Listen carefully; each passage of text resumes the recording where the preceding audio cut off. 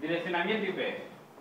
A ver, todo el mundo tiene claro, por tanto, que las, las... Eso lo explico. ¿Por qué hemos parado aquí? Porque quería repasaros el tema de las direcciones físicas. ¿Todo el mundo tiene claro que las máquinas tienen su dirección física? Y ahora mirad. Por tanto, en esta pila de protocolos que había puesto antes, ese es el nivel MAC. Pero si yo tengo un móvil y quiero conectarme a un servidor por Ethernet, me tengo que saber su MAC para conectarme. Fijaros si no existiera IP. Tendría que saberme su MAC para conectarse y todos los routers o todos los conmutadores tendrían que saberse las MACs cosas de estas, las direcciones físicas, y son 6 bytes, y tú te puedes memorizar 6 bytes, o qué sé. No, luego están las direcciones IP. O sea, el tema de lo que ha permitido la potencia es utilizar un protocolo IP. Claro que luego, en IP tampoco no sabemos las IP de las máquinas, ¿verdad? Tampoco es difícil sabérselas, porque las de IP versión 4. No sabemos las IPs, luego está el protocolo DNS que te los traduce, ¿verdad? Bien, de todas formas, en principio, lo que te va a permitir IP es de conectar una cualquier máquina, cualquier terminal, móvil, físico, entre ellos, utilizando una dirección que ya no es física, sino que la dirección IP es lógica, ¿vale? O sea, MAC es una dirección física y la dirección IP es una dirección lógica. Yo muchas veces lo comparo, ya cuando explique el, ejemplo del RP, siempre lo comparo con, vuestro nombre y vuestra cara. Sea, vuestra cara es una dirección física, ¿sí o no? Te distingue por tu cara, pero ¿sí? vienes con ella. Pero vuestro nombre es una dirección lógica, o sea, tú eres Pepe porque eres Pepe, porque te han dicho que seas Pepe, ¿vale? Y te conocen por Pepe. Más o menos, es decir, en algún momento te voy cambiar hasta de nombre, por lo mismo que te, da, te dan otra IP y ya está. Vale. ¿Qué consiste esa dirección lógica? Bueno, para permitir la interconexión de redes, lo que vamos a utilizar son direcciones de 32 bits, ¿vale? En los inicios de IP, la definición de IP de 32 bits era una exageración, era más que suficiente el número de máquinas que daba, ¿vale? Se ha quedado corto, nadie sabía dónde iba a llegar esto. También dijo Bill Gates que cualquier máquina con 64 bits era suficiente. ¿Vale? Pero en principio, las direcciones son de 32 bits, se han quedado cortas y por eso apareció en dirección, el protocolo IP version 6. ¿Cuántas direcciones tiene IP version 6? ¿Cuántas IPs tiene? ¿Cuántos bits tiene el direccionamiento? 128 te caben, luego lo veremos, pero en IP version 6 te caben, eh, creo que eran 14 millones de direcciones IP por metro cuadrado de la Tierra. O sea, me refiero a que ya no creo que nos pasemos. Vale, pero en caso de IP version 4 tenemos cuatro números decimales. O sea, la forma de representarlos son 32 bits, pero se van a, representar en su formación decimal, que se le llama, que son cuatro números separados por puntos. ¿Verdad? Su notación. Esos cuatro números separados por puntos cada uno de ellos son 8 bits, por tanto, cada uno de ellos, como máximo, ¿qué valor tiene? 255. No puede tener más, ¿vale? Que nadie configure un punto 300 o cosas de estas. Vale. Y se representan, en este caso, esos bits, tal cual, se agrupan en 8 bits y se representan por puntos. Todo esto ya deberíais saberlo, ¿sí o no? Más configura un IP y pones ese IP en ese formato, ¿verdad? Ese formato utilizado.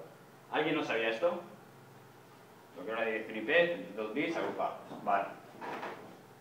Cuestiones de las direcciones IP. Una máquina puede tener varias direcciones IP distintas. O sea, no tenemos por qué tener una sola, de hecho tenemos varias.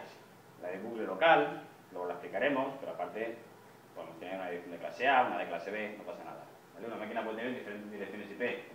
Y cada dirección IP tiene dos campos. ¿Cuáles son? Una dirección de red y una dirección de host.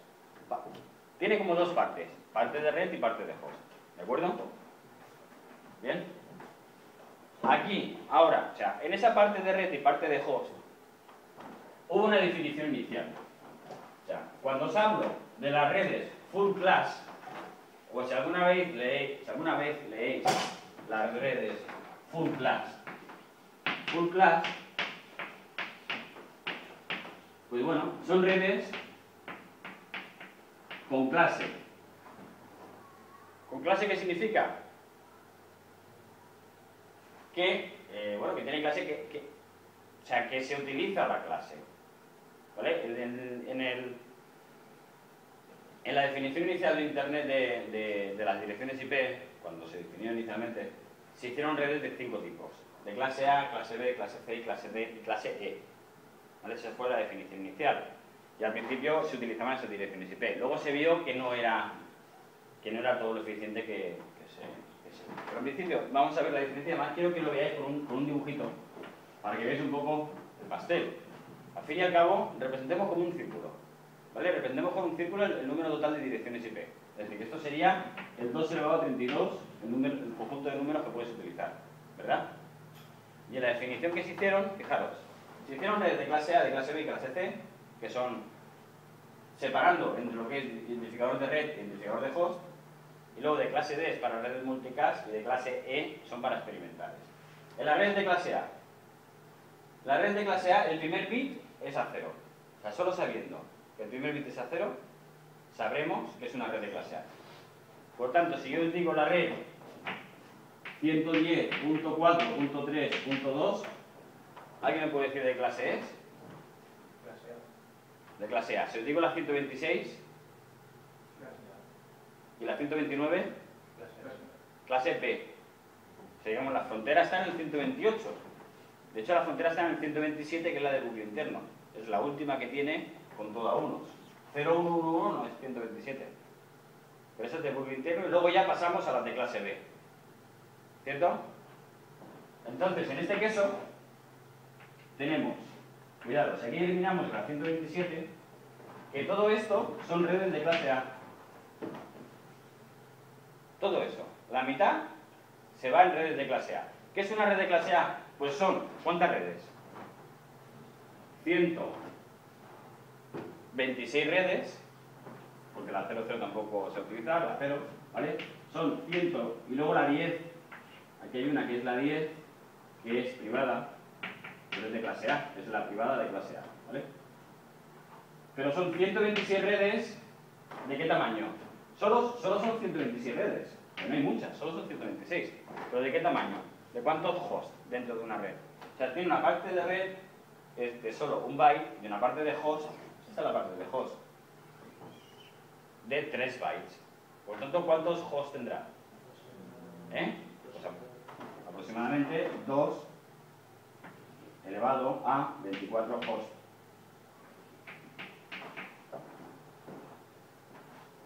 ¿Lo veis? Son 16 millones de ordenadores, creo. Ah, ¿Sabéis alguna red con 16 millones de ordenadores? O sea, ordenadores además que todos... Además, eso significaría con este eh, direccionamiento, si no hubiera segmentación, que todos los ordenadores hablan con todos. O sea, 16 ordenadores que, imaginaos un switch con 16 millones de puertos que todos hablen con todos. Algo así sería. O sea, a nivel de direccionamiento sería eso. Podéis decir que luego tendremos, nueva segmentación y tal. Pero es una red con esa cantidad, ¿correcto? Después tenemos la red desde la 128 hasta la 191 con 255 es prácticamente esta. ¿Verdad? Esto es de clase B. Que tenemos menos redes, en este caso aproximadamente 62 redes, con 2 elevado a 16 hosts. ¿Por qué? Porque la parte de host, o sea, la parte red ahora es esta, 2 bytes y 2 bytes para la parte de host. ¿Lo veis? ¿Sí? ¿O no? 2 bytes para la parte de red y 2 bytes para la parte de host.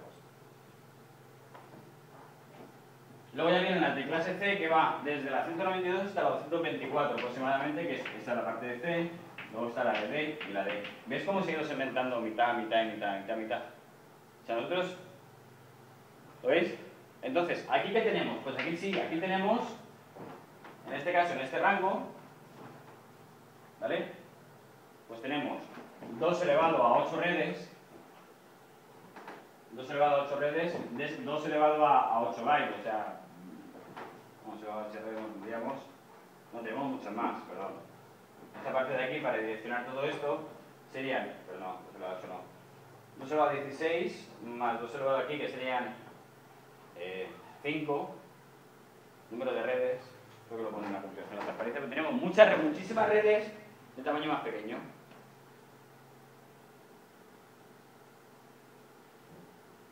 No voy a decir los cálculos, pero los cálculos los sacamos aquí, ¿lo veis?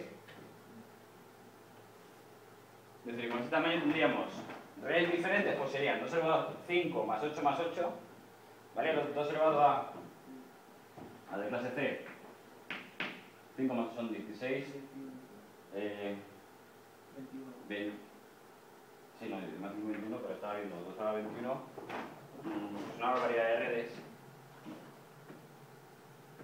Pero el tamaño es mucho más pequeño. Claro, está claro que la- a veces la confusión da lugar a, a decir, no, es que hay muchas más redes de clase, de clase C. Es verdad, hay más redes de clase C que de clase A. De clase A solo hay 26. En este caso, 2.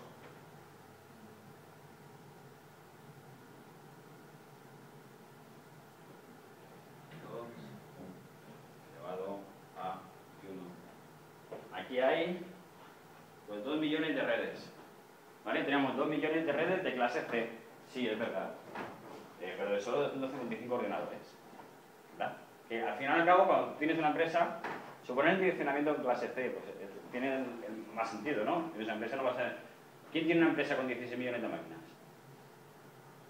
Bueno, pero ¿cuál fue el diseño inicial de IP? El diseño inicial de IP es decir, bueno, vale, tenemos que hacer... ¿Cómo definimos IP?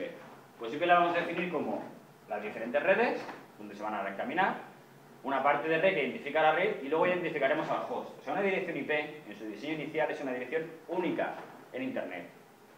Entras en Internet, tu máquina tiene una dirección lógica única en todo el mundo. Se te conecta a ti con esa dirección única en todo el mundo. ¿Lo entendéis?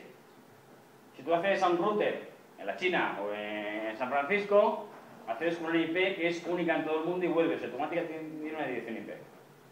De hecho, la universidad al principio tenía direcciones IP en todos los ordenadores. Estamos hablando de direcciones únicas en todo el mundo, de tipo 193 147. Las direcciones públicas. Hoy en día ya no, hoy en día tenemos direcciones privadas. ¿Vale? Que luego ya iremos viendo. Pero cuando es una dirección pública se llama que es una dirección única. Tu máquina tiene una dirección única. ¿Correcto? ¿Todo el mundo? Vale.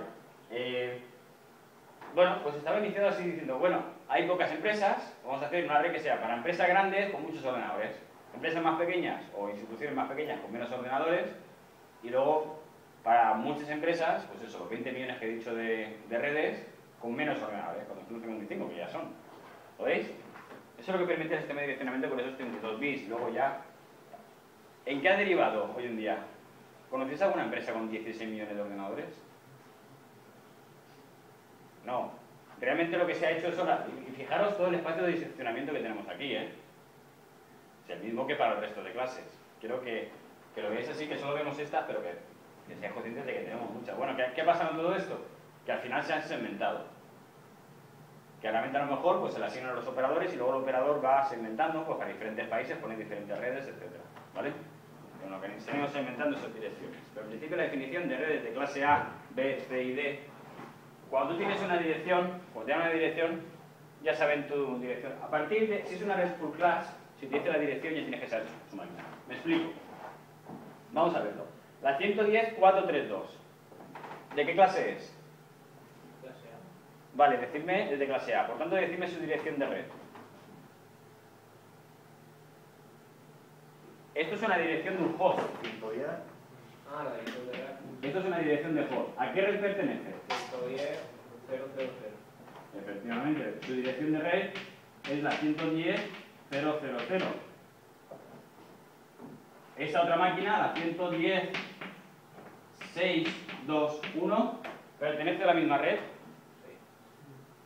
¿Lo veis? ¿Pertenece a la misma red? Sí, porque son de clase A las dos y esta es su dirección de red. ¿Y cuál será la dirección de broadcast? De esta red, porque en IP también hay dirección de broadcast, que si la dirección de red es todo a ceros, la dirección de broadcast es todo a unos, que será 110, 255, 255, 255. Esa es su dirección de broadcast. ¿Sí? O sea, en una dirección de red tenemos la primera, o sea, la, parte de red, la parte de red se mantiene, la parte de host se pone o todo a ceros o todo a unos. ¿Vale? Para saber la dirección de red lo ponemos la parte de host todo a ceros. Por tanto, estos dos pertenecen a la misma red. Ahora, decirme de la 135.6.8.127, ¿qué es? ¿Es una dirección de host o es una dirección de red? Plantear la pregunta. Con esa dirección que tenemos, ¿es una dirección de red o es una dirección de host? Es una dirección de host. Ah, pues decirme su dirección. ¿De qué clase? Vale, ¿cuál es su dirección de red? 135. Sí, es un 6. 135. 6.0.0. ¿Lo veis? Es de clase B.